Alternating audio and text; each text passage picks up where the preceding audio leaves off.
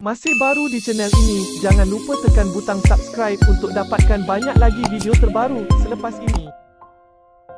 Pempengaruh dan usahawan kosmetik yang dikenali sebagai Sifu Lentik dilaporkan telah meninggal dunia pada petang semalam dipercayai akibat menghidap penyakit kanser. Menerusi pertubuhan sentuhan setia kasih di Facebook, jenazah Allah Yarham Sifu Lentik atau nama sebenarnya Muhammad Irfan Abdullah telah selamat dikebumikan semalam di tanah perkuburan Islam Tandang Petaling Jaya.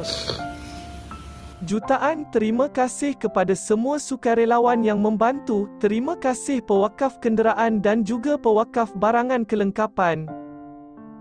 Terima kasih kepada Abang Allah Yarham yang menyampaikan sumbangan sedekah kepada Wakil Pertubuhan PSSK kerana permudahkan urusan jenazah adik beliau. Sementara itu, pempengaruh Hakim Stopar di TikTok turut memaklumkan berita pemergian rakannya itu dan meminta orang ramai mendoakan buat arwah dan memaafkan segala salah dan silap arwah selama ini.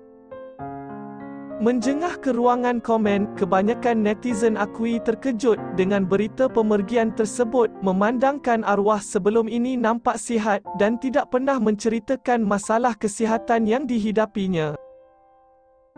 Sebagai info, Muhammad Irfan 31 sangat aktif menjual baju, barang kemas dan kosmetik secara dalam talian. Dia juga sering membuat siaran langsung di platform media sosial terutamanya TikTok untuk memasarkan produknya. Kalau anda suka video di channel ini, boleh juga tekan butang like dan share di media sosial yang lain. Terima kasih kerana setia di sini.